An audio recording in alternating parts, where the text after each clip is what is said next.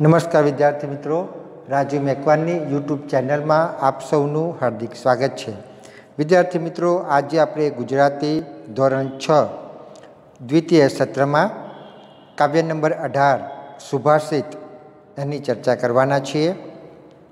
સુભાષિત એટલે સરસ રીતે કહેવાયેલો નીતિ વિચાર. સુભાષિતો બોધ પ્રેરક હોય છે. તેમાં અનુભવનું નિચોડ હોવાથી તેમાંથી પ્રેરણા અને પ્રોત્સાહન મળે છે. અહીંના સુભાષિતોમાં માનવ જીવન માટે જરૂરી મૂલ્યોની વાત વિવિધ ઉદાહરણો દ્વારા કરવામાં આવી છે. પહેલાં સુભાષિતમાં પૃથ્વી, આકાશ અને પ્રેમના ઉદાહરણ દ્વારા પોતાના આપબળનું મહત્ત્વ દર્શાવ્યું છે. પહેલું સુભાષિત છે, પૃથ્વી સમૂહ નહીં બેસણું આબ સમૂહ નહીં છત્ર પ્રેમ સમી નહીં માધુરી, આપ સમો નહીં મિત્ર. બીજા સુભાષિતમાં, મીઠી વાણીનો મહિમા ગવાયો છે. પોપટ અને કોયલના ઉદાહરણ દ્વારા ઓછું અને મધુર બોલવાની વાત કરી છે. પોપટ કોયલ બોલે થોડું, પણ લાગે ભલું. વૃથા ગુમાવે તોલ, બહુ બોલીને દેડકા. ત્રીજા સુભાષિતમાં સતત પ્રયત્ન કરીને આગળ વધવાની વાત થઈ છે. જેમ ભણીને આગળ વધતા પંડિત થવાય છે, લખતા લખતા લહિયા થવાય છે, તે જ રીતે થોડું થોડું ચાલતા લાંબો પંથ કપાય છે. ભણતા પંડિત નીપજે લખતા લહિયો થાય, ચાર ચાર ગાવું ચાલતા લાંબો પંથ કપાય. ચોથા સુભાષિતમાં મિત્રનો મહિમા ગવાયો છે. વેરના બદલે વેર રાખવાથી વેર સમતું નથી. પાપ સામે પાપ કરવાથી પાપ ટળતું નથી. મિત્રતાથી જ આ સર્વનું નિવારણ થાય છે. સમયના વેર વેરથી, ટળેના પાપ પાપથી, ઔષધ સર્વ દુઃખોનું મૈત્રીભાવ સનાતન. પાંચમા સુભાષિતમાં પરોપકારની વાત રજૂ કરવામાં આવી છે. જેમ ધૂપસળી પોતાની જાતને બાળીને સુવાસ ફેલાવે છે, તેમ છતાં પોતે મુશ્કેલી સહન કરીને બીજાને સુખી કરે છે. જલાવી જાતને ધૂપ સુવાસિત બધું કરે, ઘસી જાતને સંતો અન્યને સુખિયા કરે. તો આ રીતે, વિદ્યાર્થી મિત્રો, આ બધી જ પંક્તિઓ તમને ગુજરાતીમાં અર્થ વિસ્તાર તરીકે પૂછી શકાય તેવી છે. વિદ્યાર્થી મિત્રો, આ બધી જ પંક્તિઓના અર્થ વિસ્તાર મેં બનાવીને મૂકી દીધેલા છે. તમે પ્લેલિસ્ટમાં જોઈ અર્થ વિસ્તારમાં તમે જોઈ શકો છો અને જાતે શીખી પણ શકો છો. હવે આપણે, વિદ્યાર્થી મિત્રો, ભાષા સજ્જતાની ચર્ચા કરીએ. તો ભાષા સજ્જતામાં આજે આપણે વિચાર વિસ્તાર વિશે શીખીશું. વિચાર વિસ્તારમાં કહેવત કાવ્યની કોઈ સારી પંક્તિ કે કોઈના સુંદર ટૂંકા કથનમાં કંઈક અર્થ રહેલો હોય છે. આ અર્થ કે બોધને વિસ્તારથી સરળ ભાષામાં સમજાવવો એટલે જ વિચાર વિસ્તાર. ઘણીવાર આવી પંક્તિ ટૂંકી હોય છે. તેમાં એક પણ શબ્દ વધારાનો હોતો નથી. તેનો દરેક શબ્દ ઘણો મોટો અર્થ આપી જાય છે. આવી સુંદર પંક્તિમાં કાંઈક ને કાંઈક બોધ, સમજણ અને ડહાપણ રહેલા હોય છે. તેને સમજીને જીવનમાં ઉતારવાથી તે આપણને વ્યવહારમાં કુશળ બનાવે છે, સારા માણસ બનાવે છે અને મનમાં આવેલા ખરાબ વિચારને હટાવે છે.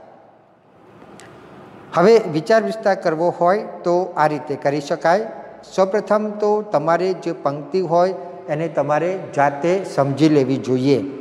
ત્યારબાદ વિચાર કરીને ત્રણ ચાર મુદ્દા નક્કી કરી અને તેની નોંધ નોંધી લેવા જોઈએ. એટલે તમારે જે મુદ્દા તમે સમજ્યા છો એને નોંધી લેવા જોઈએ. પછી પંક્તિમાં રહેલા વિચારને અનુરૂપ કોઈ પ્રસંગ, કોઈ વ્યક્તિ કે આવો જ વિચાર ધરાવતી બીજી કોઈ પંક્તિનું ઉદાહરણ તમારે શોધી લેવાનું. હવે તમે આ જે લખાણ, આ જે તમે મુદ્દા નોંધ્યા છે એ ને હવે તમારે મુદ્દાઓને વિસ્તાર કરી અને તેમાં ઉદાહરણ મૂકવાનું છે. ત્યારબાદ તમારે મુદ્દા પ્રમાણે ફકરા પાડી સારા અક્ષરે લખવાનું છે. લખાણ કર્યા પછી એકવાર એને ધ્યાનથી વાંચી જવું. આ રીતે તમે અર્થ વિસ્તાર સરસ રીતે લખી શકશો. અહીંયા વિચાર વિસ્તારનો એક નમૂનો આપ્યો છે. જોઈએ આપણે. આપણા ઘડવૈયા બાંધવ આપણે હોજી. આ પંક્તિનો વિચાર વિસ્તાર અહીં આપ્યો છે. પ્રયત્નો વડે જ આપણું જીવન ઘડતર થાય છે. માનવી પોતે જ પોતાનો ભાગ્ય વિધાતા છે એ વાત અહીં સમજાવી છે. આપણા ઘડવૈયા બાંધવ આપણે હોજી. આ પંક્તિ આપણને વાંચવી ગમે છે, કારણ કે એ વાંચતા જ સમજાય છે, આપણા ઘડવૈયા આપણે જ છીએ. આપણા પ્રયત્નો વડે જ આપણું ઘડતર થાય છે. માનવી પોતે જ પોતાનો ભાગ્ય વિધાતા છે. જીવનમાં આગળ વધવા માટે આપણે જ પરિશ્રમ કરવો પડે છે. કેવળ ભાગ્યને ભરોસે બેસી રહીએ તો આપણા હાથમાં નિષ્ફળતા જ આવે છે. કહ્યું છે ને કે, સિદ્ધિ તેને જય વરે જે પરસેવે નહાય. આપણે જ આપણો ઉદ્ધાર કરવાનો છે. જેને ખુદનો ભરોસો નથી, એને ખુદાનો ભરોસો શું કામનો? આપણને આપણો વિકાસ કે ઘડતર કરવા માટે બધી જ શક્તિઓ મળેલી છે. આપણે તેનો યોગ્ય રીતે સાચી દિશામાં ઉપયોગ કરવાની જરૂર છે. બીજાની શરણાગતિ છોડીને વ્યક્તિએ પોતાના પુરુષાર્થના બળે જીવનમાં આગળ વધવું જોઈએ. નિરાશ થઈ જવાથી કોઈ પણ કામમાં સફળતા પ્રાપ્ત થતી નથી.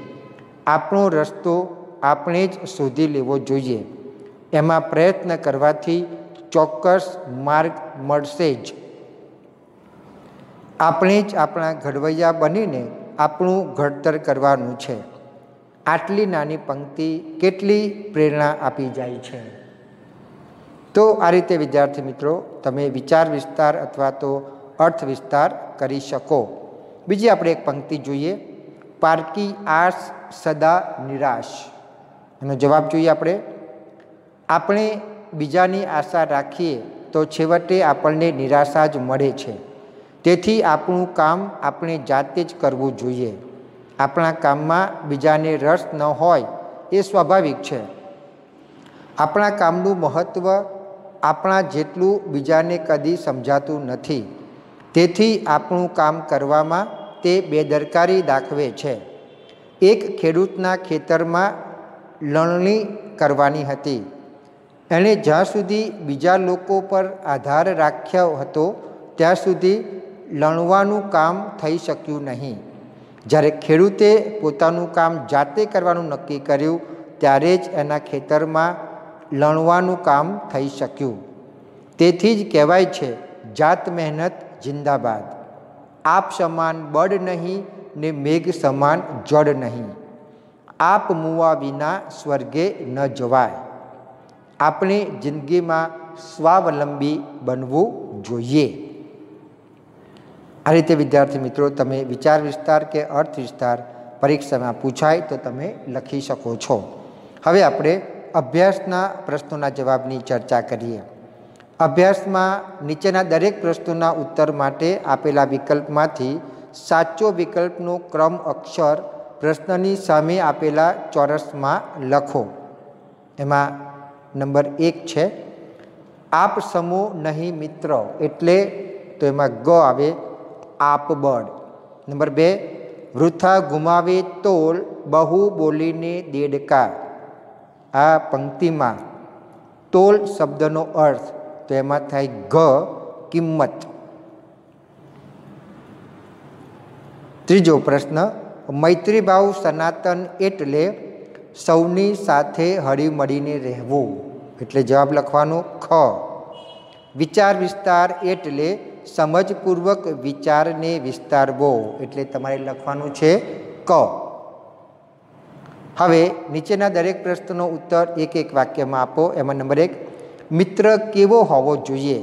તો જવાબ છે, મિત્ર પોતાના જેવો જ હોવો જોઈએ.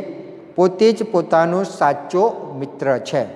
નંબર બે, આપણે બીજા સાથે કેવી રીતે વર્તવું જોઈએ? જવાબ, આપણે બીજા સાથે પ્રેમથી વર્તવું જોઈએ.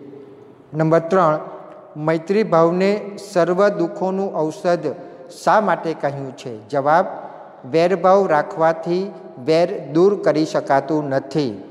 પાપને ઢાંકવા, પાપ કરવાથી પાપ ઓછા થતા નથી.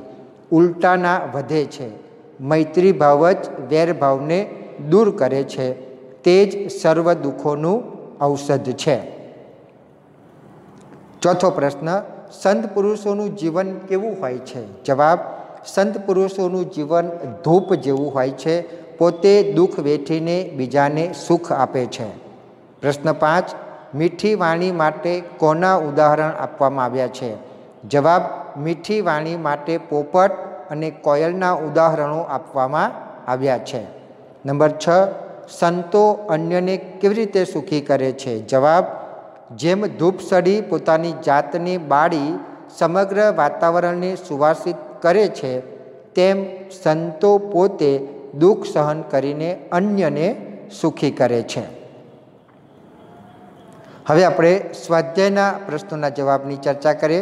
એમાં નીચેના પ્રશ્નોના ઉત્તર આપો. એમાં નંબર એક, આપણી જાતે કામ કરવાથી સો ફાયદો થાય છે. જવાબ, જે પારકી આશા છોડી પોતાના કામ જાતે જ કરે છે, તેનો આત્મવિશ્વાસ વધે છે. તેને નિરાશા અનુભવવી પડતી નથી. પોતે નિષ્ફળ જાય તો એના કારણોને દૂર કરીને સફળ થઈ શકે છે. બીજો પ્રશ્ન, જીવનમાં મૈત્રીભાવનું શું મહત્ત્વ છે? જવાબ, જીવન અનેક વિષમતાઓ, વેરઝેર કાવા દાવા તેમજ દુઃખોથી ભરેલું છે. કાદવથી કાદવ ધોઈ શકાય નહીં. જીવનમાં સુખ અને શાંતિ મેળવવા માટે નિસ્વાર્થ મૈત્રીભાવ જ એકમાત્ર અસરકારક ઉપાય છે. પ્રશ્ન બે, આટલું શોધો અને લખો એમાં નંબર એક. પોતાની જાત એટલે કે આપબળનો મહિમા દર્શાવતી કહેવતો કે પંક્તિઓ શોધીને લખો. તો કે એમાં જવાબમાં આપણે કહેવતો જોઈએ, આપ ભલા તો જગ ભલા. આપ મુવા વિના સ્વર્ગે ન જવાય. આપ સમાન બળ નહીં ને મેઘ સમાન જડ નહીં. હૈયું બાળવા કરતાં હાથ બાળવા સારા. હવે આપણે પંક્તિ જોઈએ. જાતે જે નર કરી શકે તે ન બીજાથી થાય. આપ મુવા વિના કોઈથી સ્વર્ગે નવ જવાય. બીજી પંક્તિ છે. ચાકરનું રડિયું ચાકર ખાય ઘરનો ધણી પડ્યો જાય ને જાતે રડે ત્યારે કોઠી ભરાય. બીજો પ્રશ્ન છે, વાણીનો મહિમા દર્શાવતી કહેવતો કે પંક્તિઓ શોધીને લખો. તો જવાબ કહેવતો જોઈએ, બોલે તેના બોર વેચાય, માગ્યા વગરમાં પણ પીરશે નહીં. વાત કરવી હુંકારે ને લડાઈ કરવી તુંકારે.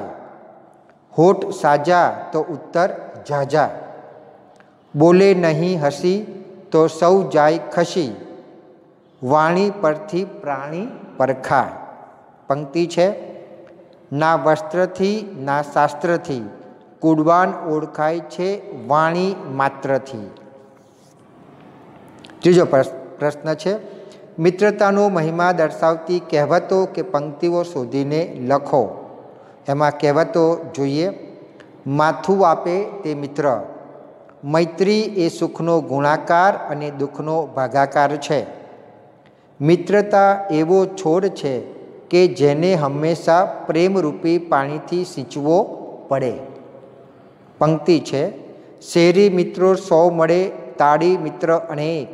જેમાં સુખ દુઃખ પામીએ તે લાખોમાં એક. અન્ય પાંચ સુભાષિતો મેળવીને લખવાના છે. તેનો જવાબ છે સુભાષિતોમાં એક. હોય કામ મુશ્કેલ પણ ઉદ્યમથી જટ થાય.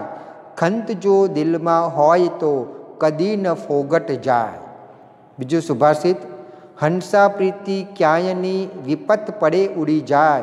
સાચી પ્રીત સેવાડની જડ ભેગી સુકાય. ત્રીજું સુભાષિત, જે જન પામે પૂર્ણતા તે ન કદી ફૂલાય. પૂરો ઘટ છલકાય નહીં, અધૂરો ઘટ છલકાય. ચોથું સુભાષિત, મોટાઓની અલ્પતા જોઈ થાક્યો, નાનાની મોટાઈ જોઈ જીવું છું. નંબર પાંચ, બહુજન મળીને જે કરે તે એકે નવ થાય, સાવરણી ઘર સાફ કરે, સડી એકે શું થાય? પાંચમો પ્રશ્ન છે શાળાની દિવાલ પરથી તમને ગમતા પાંચ સુવિચાર લખો. તો જવાબ છે ક્ષમા વીરોનું આભૂષણ છે. સિદ્ધિ તેને જઈ વરે જે પરસેવે નહાય. પ્રેમ સ્વર્ગનો રસ્તો છે. માતાનું હૃદય બાળકની પાઠશાળા છે. સ્વાશ્રય અને સંયમ એ ચારિત્રના બે ફેફસા છે. ત્રીજો પ્રશ્ન, નીચેના શબ્દ ચોરસમાંથી કૌંસમાં આપેલા શબ્દોના સમાર્થી શબ્દો લખવાના છે. પૃથ્વી આબ મિત્ર, પંથ, ઔષધ અને સુવાસિત. આ જે શબ્દો આપ્યા છે, એના શબ્દોના સમાર્થી શબ્દો વિદ્યાર્થી મિત્રો આપણે આ ચોરસમાંથી શોધીને લખવાના છે. બરાબર? તો પૃથ્વી એટલે ધરતી આબ એટલે નભ, મિત્ર એટલે ભેરું, પંથ એટલે રસ્તો ઔષધ એટલે દવા અને સુવાસિત એટલે સુગંધિત. હવે આપણે આગળ જોઈએ. નીચેના શબ્દોના વિરુદ્ધાર્થી શબ્દ લખો. આભ તો ધરતી, પાપ તો પુણ્ય, મિત્ર તો દુશ્મન, ફાયદો તો નુકસાન, વેર તો મૈત્રી અને સુખિયા તો દુખિયા. પ્રશ્ન પાંચ, નીચેના સુવાક્યનો વિચાર વિસ્તાર કરો. એમાં નંબર એક, આપ સમાન બળ નહીં, મેઘ સમાન જળ નહીં. જવાબ, જે સ્વાશ્રયી હોય છે તેને હાથ લાંબો કરવાનો વારો આવતો નથી. પારકી આશા છોડીને પોતાના બળ ઉપર આધાર રાખનાર વ્યક્તિનો આત્મવિશ્વાસ વધે છે. તે ગમે તેવા મુશ્કેલ કાર્યો પણ સહેલાઈથી પાર પાડી શકે છે. આપણું કામ બીજું કોઈ કરી આપશે એવી પારકી આશા રાખવાથી વ્યક્તિ નિર્બળ બની જાય છે, એને નિરાશા જ અનુભવવી પડે છે.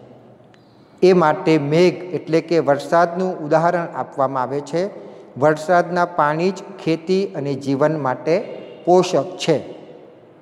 બીજું, પાણી અને વાણી વિચારીને વાપરો. જવાબ, પાણી કુદરતે આપેલી અમૂલ્ય સંપત્તિ છે. કુદરતે ખુલ્લે હાથે વેરેલી સંપત્તિને જતનથી સાચવવી જોઈએ. આપણે તેને જરૂર પ્રમાણે વાપરવાને બદલે વેડફી દઈએ છીએ. પાણી ન મળે ત્યારે જ પાણીની સાચી કિંમત સમજાય છે. પાણી વાપરવામાં આપણે વિવેક રાખવો જોઈએ. એ રીતે વાણીનો સંયમ પણ અત્યંત જરૂરી છે.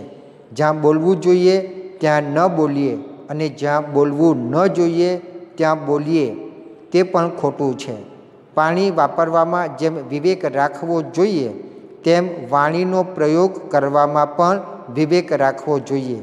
બંને વિચારીને વાપરીએ તો પસ્તાવવું ન પડે. પ્રશ્ન છ, નીચેના શબ્દોને શબ્દકોશના ક્રમમાં ગોઠવો. વૃથા, છત્ર, કોયલ, વેર, ઔષધ, સુવાસિત, આભ અને અંધકાર. તો આ રીતે શબ્દકોશના ક્રમમાં ગોઠવી શકાય. જવાબ, અંધકાર. આભ ઔષધ, કોયલ, છત્ર, વૃથા, વેર અને સુવાસિત. હવે આપણે પ્રવૃત્તિ જોઈએ. દુહાની જેમ સુભાષિતોનું તમારે ગાન કરવાનું છે, બરાબર? ત્યારબાદ છે બીજું, સુવિચાર સંગ્રહપોથી બનાવો અને પ્રાર્થના સભામાં સુવિચાર રજૂ કરો. વિદ્યાર્થી મિત્રો, તમને જ્યાંથી સુવિચાર મળે, એના સુવિચાર તમારે તમારી નોટમાં લખતા રહેવાનું છે. અને એ સુવિચાર તમે પ્રાર્થના સભામાં રજૂ કરી શકો છો. ત્રીજો નંબર છે, તમે એકઠા કરેલા સુભાષિતોમાંથી કોઈ પણ બે સુભાષિતો કંઠસ્થ કરીને પઠન કરો. વિદ્યાર્થી મિત્રો, આપણે અહીંયા સુભાષિતોની ચર્ચા કરી છે. એમાંથી તમને કોઈ પણ બે ગમતા સુભાષિતોને તમે મોઢે એટલે કે કંઠસ્થ કરી શકો છો. હવે આપણે વ્યાકરણની ચર્ચા કરીએ. એમાં પ્રથમ છે નીચેના શબ્દોની જોડણી સુધારીને લખો. તો વિદ્યાર્થી મિત્રો, હું સાચી જોડણી વાંચી જાઉં છું. તમે સ્ક્રીન ઉપર ધ્યાન આપજો. પૃથ્વી, માધુરી, વૃથા, સુવાસિત અને સુખ્યા. નીચેના શબ્દોના બે બે સમાર્થી શબ્દ લખો. વેર એટલે દ્વેષ અને શત્રુતા. પંડિત એટલે વિદ્વાન અને જ્ઞાની. અન્ય એટલે બીજું અથવા પરાયું. સર્વ એટલે બધું અથવા તો સઘળું નીચેના શબ્દોના વિરુદ્ધાર્થી શબ્દ લખો. લાંબો તો ટૂંકો, પ્રેમ તો દ્વેષ અથવા તિરસ્કાર, સુખ્યા તો દુખ્યા અને પાપ તો પુણ્ય. નીચેના શબ્દ સમૂહ માટે એક એક શબ્દ આપો. લખવાનું કામ કરનારો માણસ એટલે લહિયો. શાસ્ત્રમાં નિષ્ણાત પુરુષ એટલે પંડિત. કાયમથી ચાલ્યું આવતું એટલે સનાતન. પાંચમો નંબર, નીચેના વાક્યમાંથી વિશેષણ વિશેષ્ય દર્શાવો. એમાં એક, ઔષધ સર્વ દુઃખનું મૈત્રી ભાવ સનાતન. આ વાક્યમાં સર્વ એ વિશેષણ, દુઃખનું એ વિશેષ્ય, સનાતન એ વિશેષણ અને મૈત્રી ભાવ તે વિશેષ્ય છે. નંબર બે, ચાર ચાર ગાઉ ચાલતા લાંબો પંથ કપાય. તો ચાર ચાર એ વિશેષણ ગાવું એ વિશેષ્ય, લાંબો એ વિશેષણ અને પંથ એ વિશેષ્ય છે. ત્રીજું વાક્ય, સાચી પ્રીત સેવાડની જડ ભેગી સુકાર તો એમાં સાચી એ વિશેષણ, પ્રીત એ વિશેષ્ય છે. નંબર છ, નીચેના રૂઢિપ્રયોગનો અર્થ આપી વાક્યમાં પ્રયોગ કરો. એમાં નંબર એક, જાત ઘસવી એટલે બીજા માટે દુઃખ વેઠવા. વાક્ય સંતો બીજાઓ માટે જાત ઘસે છે. પ્રશ્ન નંબર સાત, નીચેના શબ્દોને શબ્દકોશના ક્રમમાં ગોઠવો. લહિયો, દુઃખ, ઔષધ અભ અને ધૂપ. તો શબ્દકોશના ક્રમમાં આ રીતે ગોઠવી શકાય. જવાબ અભ ઔષધ, દુઃખ, ધૂપ અને લહિયો. તો વિદ્યાર્થી મિત્રો, અહીંયા આપણે આ સુભાષિતોના અભ્યાસ, સ્વાધ્યાય અને ભાષા સજ્જતાની ચર્ચા પૂર્ણ કરીએ છીએ.